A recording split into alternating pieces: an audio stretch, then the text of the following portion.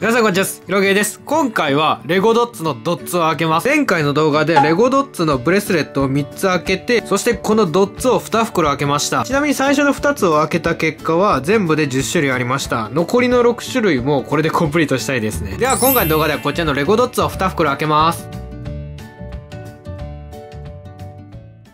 で、このドッツのこのブレスレットパーツなんですけど、あの、師匠の星にも開いております。これ前回の動画で言ったんですけど、これ秘伝ヒカキンバックラーです。こうやってベルトにつけるのもありですよ。では、一袋目開けます。まだ出てないのが、こういう顔文字系と、あとはまあこれと、えっ、と、あとこのダイヤ。このテヘペロマークですね。これは欲しいな。切れてなかった。いきます。せーの、よっと。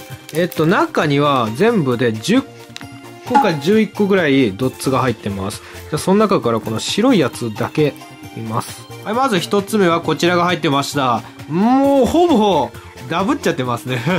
はい、一袋目を開けて結果はこのようになりました。で、僕の右手に持ってるのが持ってないドッツです。あとは4種類ですね。次の2つで揃ったらもうこれはミラクルですよ。では2袋目開けます。これ揃わなかったらどうしよう。うん揃わなかったら、うん、そうですね。追加でまた2個ぐらい買おうかな。できます。はい、二つ目の結果はこのようになりました。で、持ってないのが、えっと、これと、えっと、あ、持ってないのがこの3つですね。はい、今回の結果で15種類が揃いました。これ全部で16種類なんですけど、あと1種類が、えっと、なんだっけ。ちょっと一回、あの、ツイッターで全部当てた人の、ちょっと。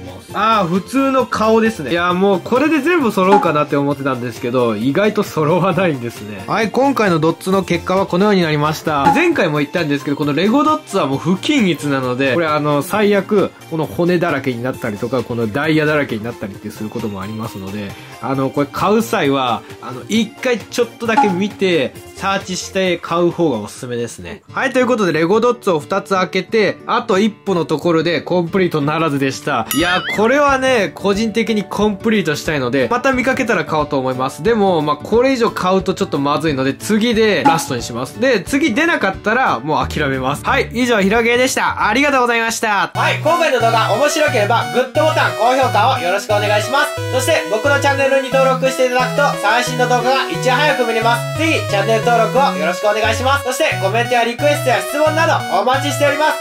それでは次の動画でお会いしましょう。ほならーイェーイ